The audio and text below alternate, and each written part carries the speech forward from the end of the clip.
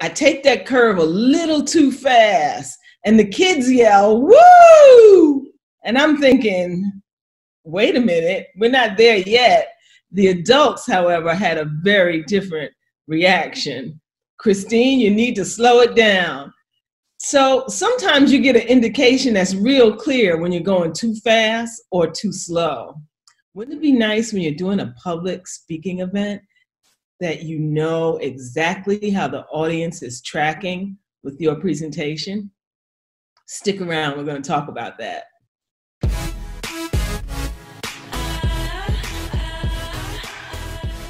I'm Christine Harper. And I'm Ernie Davis. And we're here from Powerhouse Motivations. Motivations. So today we're going to talk about tempo, that rhythm, that flow, the pace that you use to speak.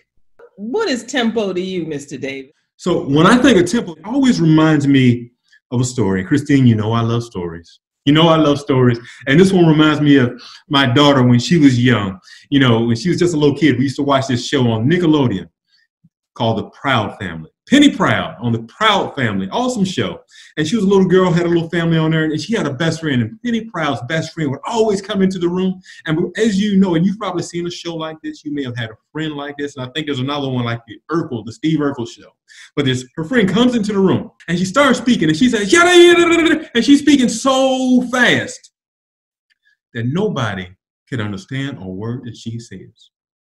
And then the other little friend comes in as a little boy, and this one he speaks extremely slow, and he speaks so slow that everybody is completing his sentences. And so when I think of tempo, I always think of those two cartoon situations. You know, the pace at which you're speaking and presenting your presentation. Are you going really, really fast, or are you going really, really slow? I remember one time I was evaluating someone who was, happened to be my mentor Mr. Tony Bass. Uh, and he's telling a story and it's interesting. And at times he'd stop and he'd look to the left or the right. Mm-hmm. And I was thinking, is he okay? Why is he stopping? Yeah. And then he keep going. He bring us, you know, and everyone is is with him. And I'm leaning in because I want to hear what's going to happen. Yeah. And then when it was my turn to do the evaluation, I said, Oh, Mr. Bass, you have become the master of the pause. Ooh, I like that. I like that. You know, that was excellent. I remember Mr. Tony Bass. I remember Tony. Tony was an awesome guy. He was an awesome guy. And I think you I like the way you said that. And if you know, guys, I, I love to give you guys tips and pointers. And so here, here it is. I'm gonna give the I'm gonna go back and give you the number one tip and pointer. You may want to write this down. You may want to press the like button right now and write this down. Press like and write this down you have to come to the realization and understand that your voice will have an impact on the audience. You see, you're going to be a great speaker. You can be an awesome speaker, but the first thing you have to come to the realization and you have to understand that your voice will have an impact on the audience. Write it down, press like, and remember that because your audience will, your, your voice will determine how your audience responds. Mm-hmm. You speak too slow, people will start to look at you as if something's wrong. They'll start to ask questions, and they may just think that, hey, maybe you're just a little slow. You speak too fast, and they may start to think that maybe you're an upstate New Yorker. maybe you're like one of my favorites, like Miss Christine Harper from what, what part of New York are you from there, Christine? From Brooklyn. From yeah, Brooklyn. tell us about that. Tell us about that Brooklyn accent. I love that. it's funny because my accent is a combination of Brooklyn and the Bronx because I spent a lot of time in both places. But it's interesting how when I moved away from New York to live in, in Pennsylvania, that's you, Christine. People tend to speak much slower. You trying to tell us that you had one of those accents, that you were a fast talking New York girl? Is that what you're trying to tell us?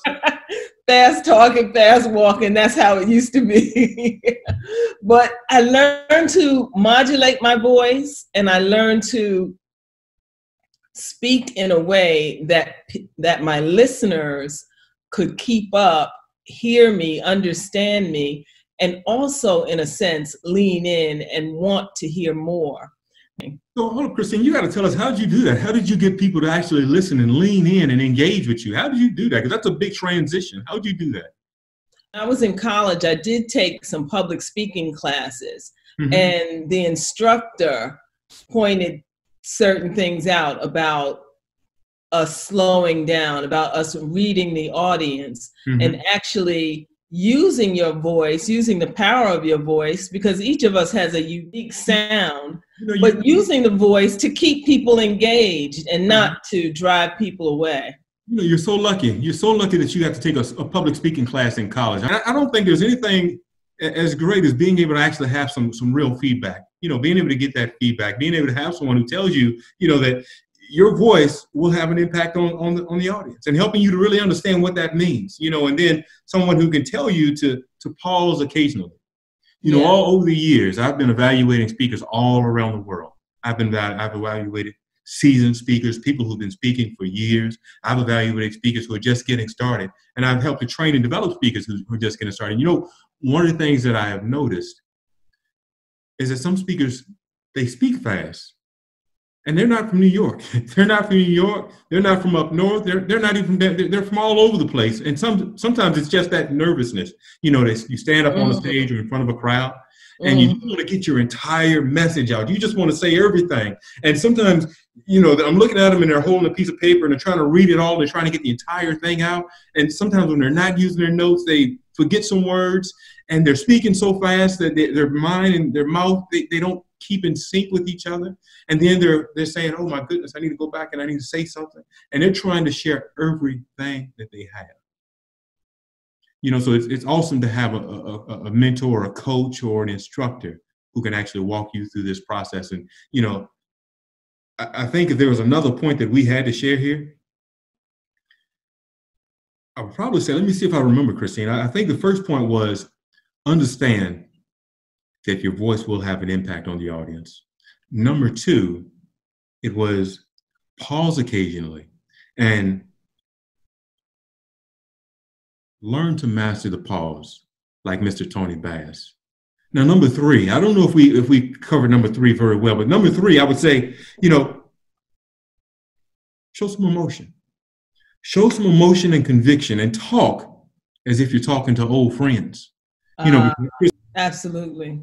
Mm-hmm. It's something about that. You you're talking, you mentioned a few seconds ago about people rushing through their speech you're talking and for some reason you think oh this guy has got to go he, he's only got three minutes left i better hurry up and say everything i need to say so that he'll sign this contract mm-hmm. not a good look when the timer holds the sign up and says you've got two minutes left don't yeah. think that that means you should now rush through every single point you had on your piece of paper mm-hmm. because that's not necessarily effective when you're speaking, you want to be effective.